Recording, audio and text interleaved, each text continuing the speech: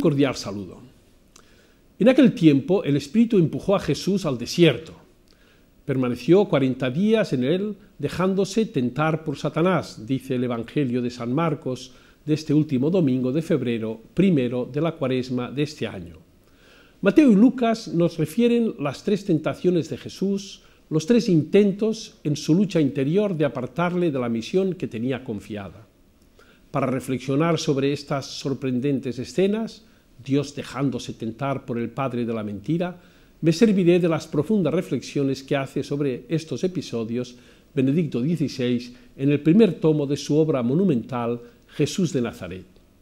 El autor señala, el núcleo de toda tentación es apartar a Dios, que ante todo lo que parece más urgente de nuestra vida pasa a ser algo secundario o incluso superfluo y molesto dejar a Dios de lado como algo ilusorio. Esta es la tentación que nos amenaza de muchas maneras. Veamos las tres tentaciones. En la primera le pide el demonio que convierta las piedras en pan, algo útil, material, bueno en sí mismo, práctico. En la segunda el diablo llega a citar la Biblia cuando le invita a hacer algo espectacular, arrojarse desde lo alto para que crean en ello.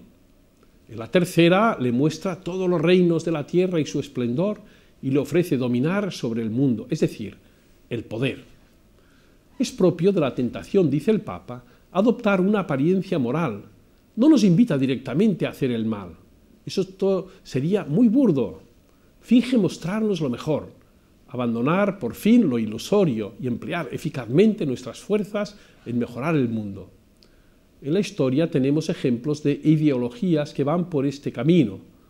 Uno aseguraba que la religión era el opio del pueblo, un engaño a los pobres para el conformismo. Otro decía que el perdón es inútil, la humildad nociva, el poder era lo importante y el Estado podía resolver los problemas. Una tercera, que el capital y el mercado son el verdadero Dios que mueve el mundo, el juego de las voluntades individuales en busca del placer de cada uno, formando un equilibrio que funciona. A nivel personal, la tentación de apartar a Dios de lo que parece más urgente lleva a veces a dejar la oración, los sacramentos y la vida de piedad, para más adelante, cuando tengamos tiempo o tengamos ganas. El núcleo de toda tentación es ponernos como protagonistas y dar a Dios un papel secundario en nuestra vida como si fuera en ella un actor de reparto en la película de nuestra existencia. La enseñanza de Jesús es otra. Primero, amar a Dios. Segundo, amar al prójimo. Es la llave de la superación de todo engaño, la clave de la felicidad que solo hallamos cuando la buscamos en Dios y en el servicio a los demás.